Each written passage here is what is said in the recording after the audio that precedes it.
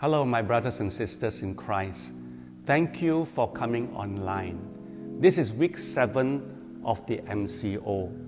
For many of us today, we have underestimated the impact of this invisible virus upon our daily lives, upon our church, upon our country, and upon the world.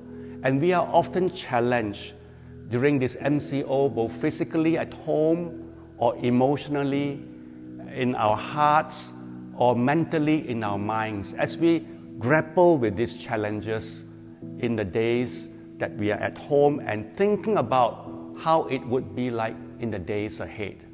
In our quietness, we reflect on many issues of life, our relationships with one another, whether it is at home with spouses or with family, or in church or at office. We often think about how would it be purposeful in the days ahead when we are able to go back to work? And also, how would the future days look like post MCO? And words that come to our mind often as we keep quiet, thinking of the days ahead, would be words like to restart, to reset, or to recalibrate our lives. And as these thoughts come to us, we often come out with plan A, plan B, plan C. Looking at our circumstances, we plan ahead. The Bible reminds us that the conditions of our hearts is very important in order for us to be ready to restart or reset or to recalibrate our lives on a daily basis. Proverbs chapter 4 verse 23 says, "Above all else, guard your hearts for everything you do flows from it.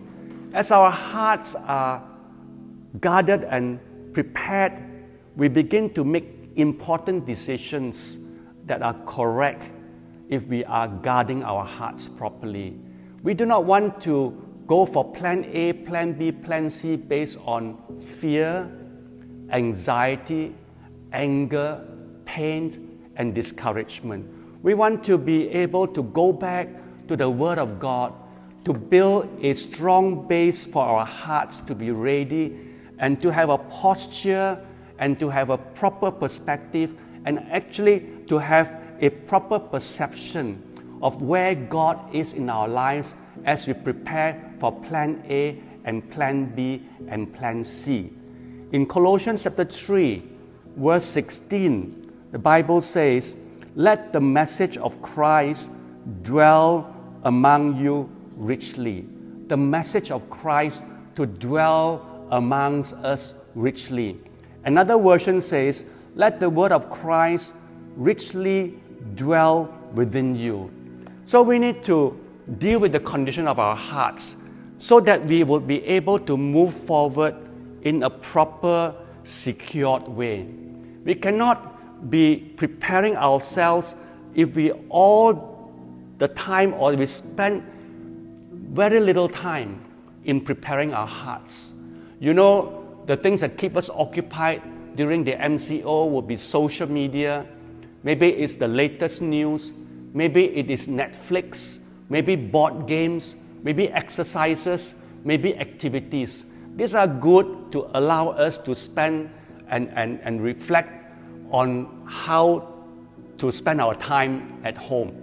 But these do not prepare our hearts to go forward in the days ahead.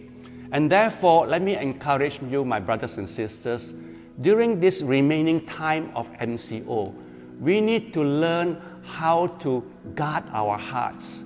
And as we guard our hearts, God, by His Holy Spirit, will help us to find a way to reset, to restart, and to recalibrate and then we begin to see from his perspective what would be plan A and plan B or plan C.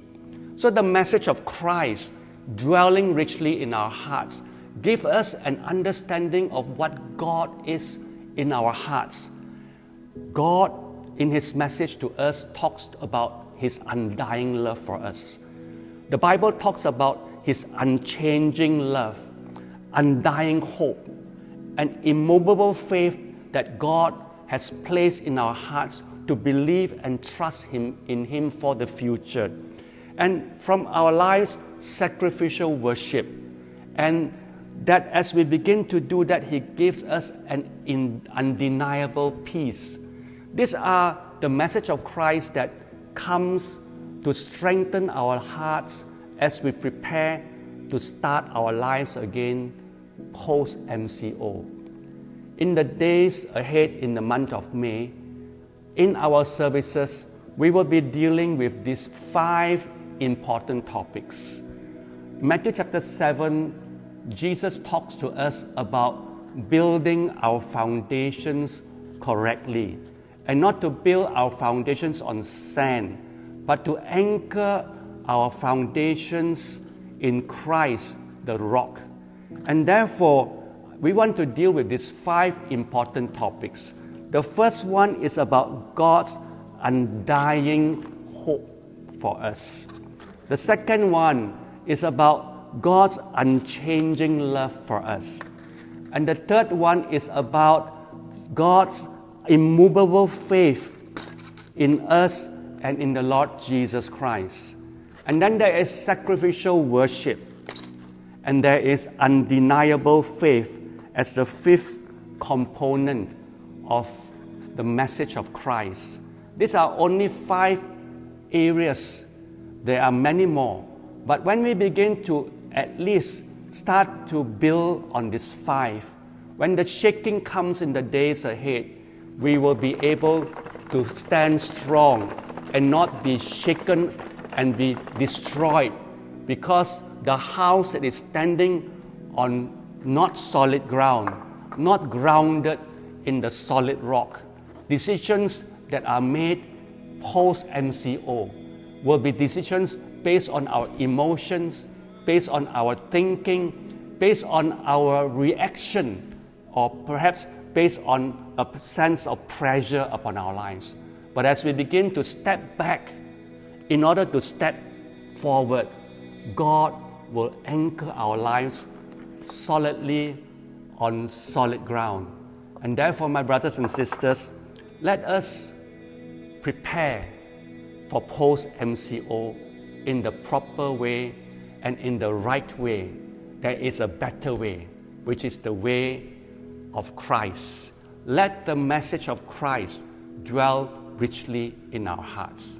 May God bless you as you prepare for post MCO. Amen.